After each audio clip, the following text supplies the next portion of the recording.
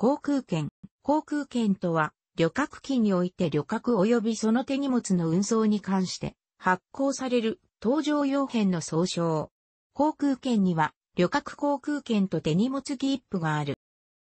航空券は旅客機に搭乗する際に搭乗する際に必要な切符、陸上の交通機関の乗車券に相当するであり、航空会社と旅客との間の運送契約の証拠書類である。航空券には搭乗する者の氏名、搭乗する区間、便名、座席等級、適用する運賃金額、有効期間等が記載されている。なお、二つ以上の航空会社を乗り継ぐための航空券は連帯運送航空券という。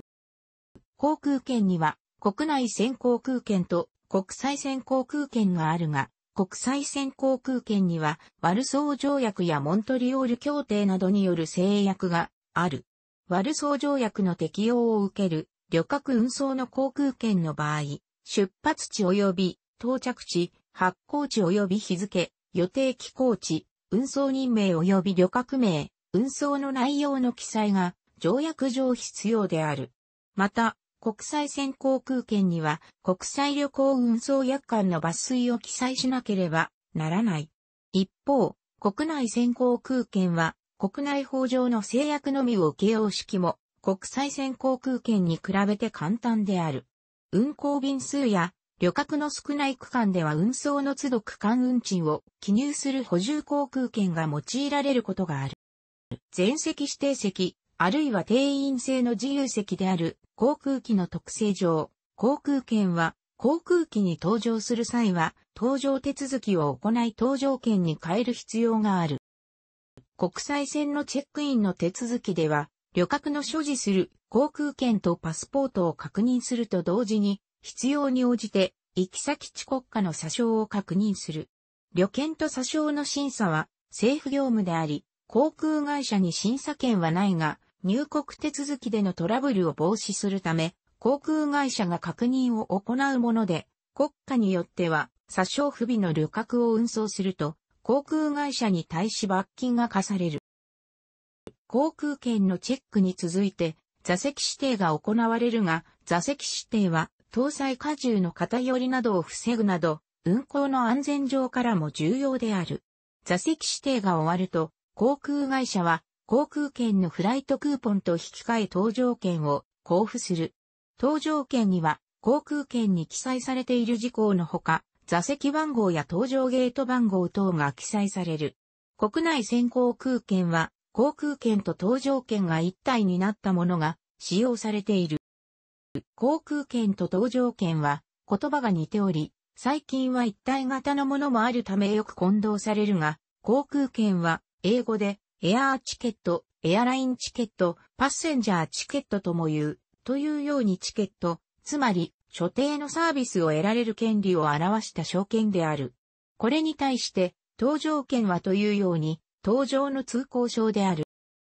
鉄道やバスなど、陸上交通機関の乗車券と違い、原則として、記名式であり、法人向け回数券など一部は、無記名式、券面に記載されたもの以外が使用することや名義を変更することはできない。また、記載された区間以外に変更することも原則としてできない。一つの予定で航空券が複数枚ある場合は、順序通り使用しなくてはならず、逆行使用、例えば、東京大阪の航空券を、坂東京の便に使用することもできない。ただし、ビジネス切符や法人向け回数券での逆区間への変更、予約変更可能な運賃の航空券において、マルチエアポート設定都市内での発着空港の変など、一部では例外が認められている。ネットオークションなどで不正に入手した航空券、名義人が本人以外の航空券やクレジットカードで不正行為を行った上で入手した航空券などは搭乗をいなされ払い戻しはできない。多くの航空会社では同一旅程の複数の区間のうち1区間でも登場しなかった場合、農省は、その区間のみならず、残りの全区間についても、全と無効とするルールを適用している。サウスウェスト航空は、例外で、往復航空券の往路を放棄しても袋は有効である。無効とされた区間の運賃を払い戻すかどうかは、その航空券のクラス、下記による。一般に普通運賃を適用した航空券は、購入期限や発売場所、有効期間や有効便、選択、指定できる座席の範囲や、販売座席数、空席、キャンセル待ち時の優先取り扱い、予約変更や払い戻し、取り消し、上級席に空席がある時や、ダブルブッキング、同一席の二重販売時のインボランタリーアップグレードなど、利用条件に関する自由度や優遇度が高いが、割引運賃を適用した航空券は割引の度合いに比例して自由度が低下する。例えば、ユナイテッド航空の場合、変更や払い戻しの制限のないファーストクラスを筆頭にマイレージ特典券などを含んで28のクラスに細分されており、エコノミークラスだけでも変更や払い戻しの制限のない第1段階から変更や払い戻しの一切できない格安団体専用券、旅行会社のみ、一般には販売しないの第13段階まで分かれてる。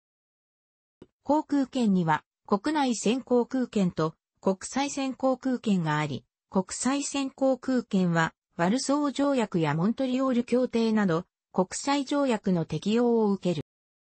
運賃を決定するための航空旅行の形態は、主として以下の5種類に分類される。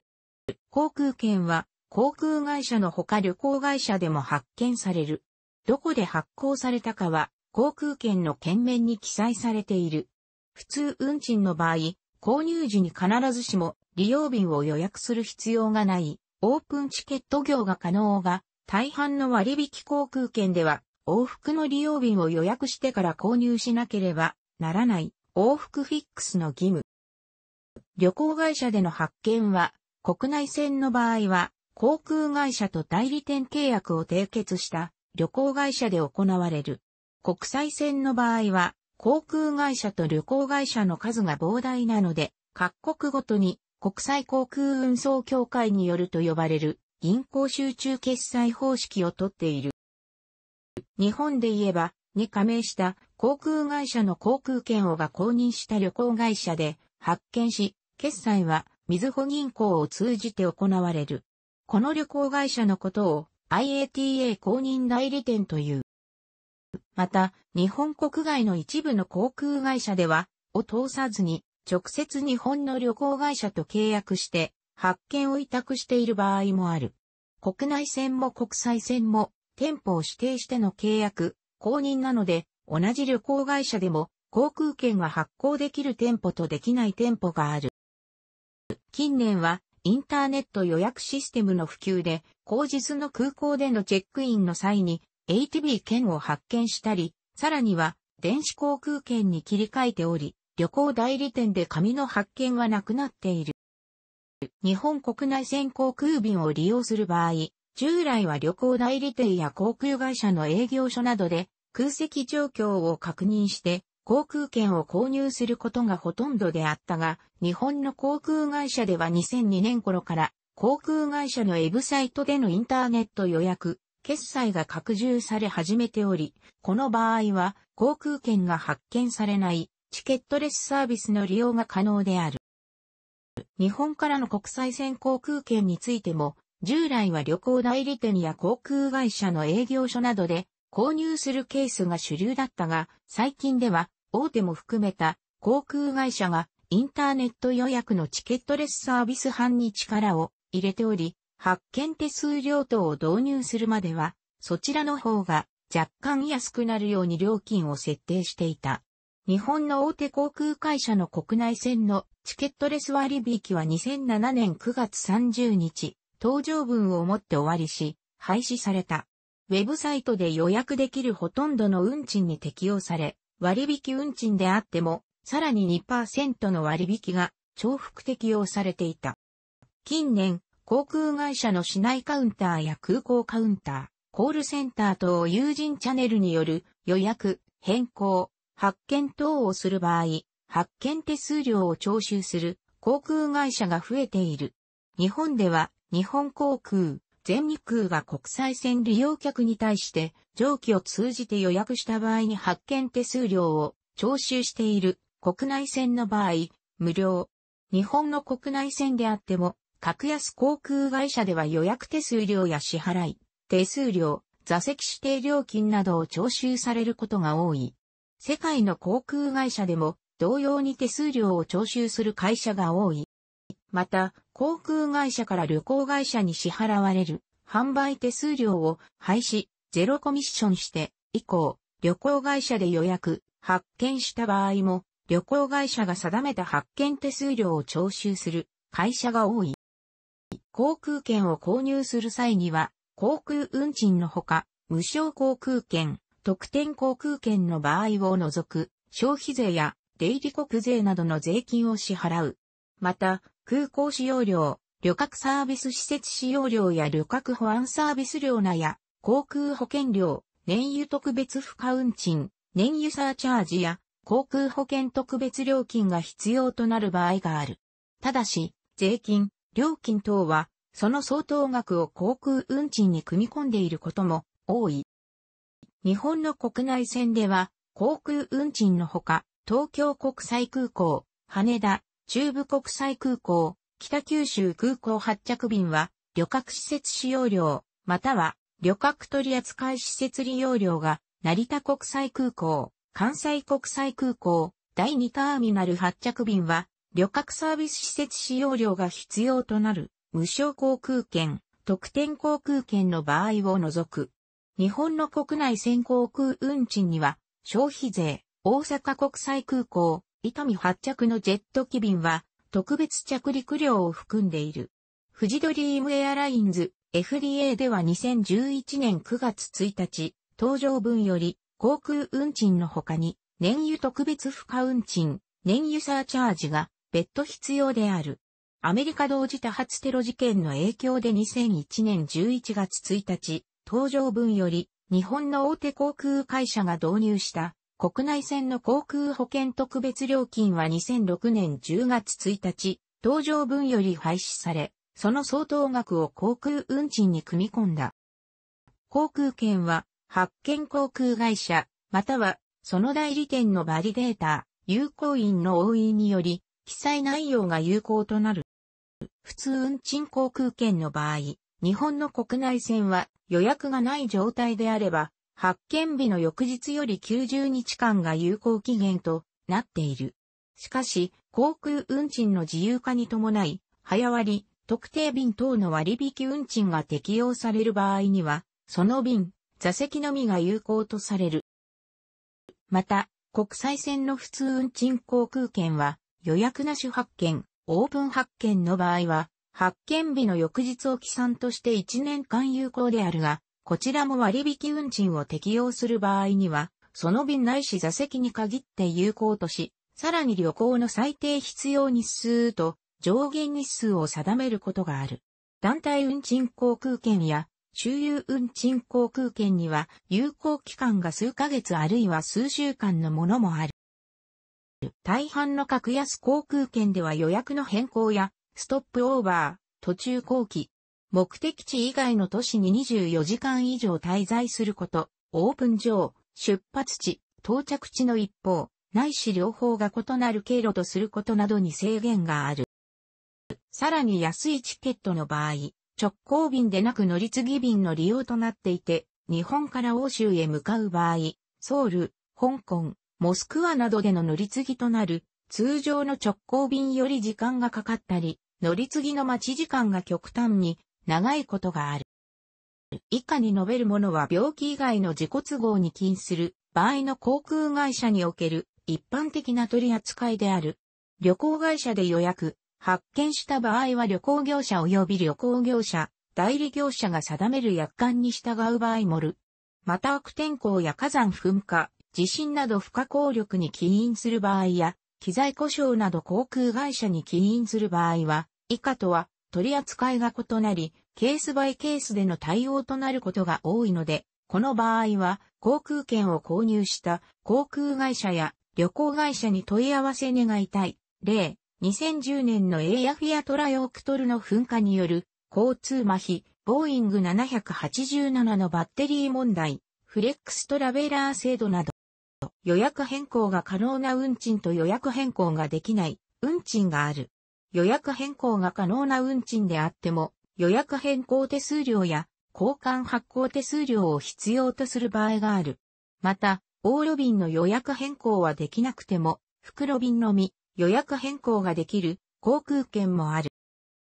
日本の大手航空会社の国内線の場合、予約変更が可能な運賃の航空券であれば、搭乗予定便の出発時刻前に限り何度でも無料で変更することができ、予約を取り消してオープンオープンにすることもできる。ただし次回搭乗する便との間で運賃額が異なる場合は、差額調整が必要で、不足分は追加徴収、過剰額は払い戻しがなされ、PFC も同様の扱いを受ける。前述の通り航空券の名義変更はできず、区間変更も一部を除きできない。また予約変更ができない運賃の航空券であっても、搭乗日当日、出発空港にて予約便より前の便に空席がある場合に、限り役変更ができる航空券もある。払い戻す際には、日本の大手航空会社の国内線では、取り消し手数料と払い戻し手数料が引かれた残額が払い戻される。国際線の航空券では、取り消し手数料と払い戻し手数料のうちより、高額な方の手数料のみ申しける場合や一括した手数料となっている場合、払い戻しが一切できない航空券もあるのでそれぞれの運賃の払い戻しの規定を確認願いたい。また格安航空会社の中には、マイルポイント、クーポンや現物給付などで払い戻しを行う航空会社もある。日本の大手航空会社の国内線の払い戻し手数料は400円消費税である。ただし富士ドリームエアラインズや北海道エアシステムでは払い戻し手数料自体が存在しない。日本の大手航空会社の国内線の取り消し手数料は予約変更ができる運賃、普通運賃、往復割引などで購入した航空券を予約した便の出発時刻までに払い戻す場合はかからないが、それを過ぎた場合は所定の取り消し手数料がかかる。また、予約変更ができない運賃で購入した航空券を払い戻す場合は、出発時刻前と後のいずれであっても、取り消し手数料がかかる場合がほとんどで、最近では航空会社が異なると同じ運賃であっても、払い戻しの規定が全く違うケースが増えてきている。クレジットカードで航空券を購入した場合は、クレジットカード会社を通じての払い戻しとなるが、それ以外は航空会社の定めにより、また支払い場所、支払い方法によって異なっている。口座振込となる場合が多いが、航空会社の空港カウンターや支店でしか払い戻しができない場合もある。振込手数料や交通費など、払い戻しにかかる費用は自己負担となるケースが多い。また、旅行券等のギフトカードなど、支払い方法によっては、払い戻しができない場合もある。払い戻し期間があらかじめ決められていることが多いので、注意願いたい。日本円で航空券を購入した場合であっても、アメリカ合衆国ドル、現地の通貨、その航空会社が席を置く国家の通貨での返金となる場合もある。楽しくご覧になりましたら、購読と良いです。クリックしてください。